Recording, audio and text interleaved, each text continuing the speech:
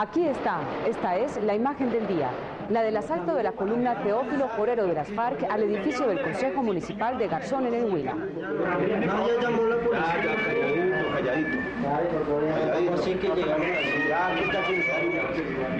La mayoría de concejales logró salir sanos y salvos luego de la acción que no duró más de cinco minutos, que para los concejales fueron de máxima tensión.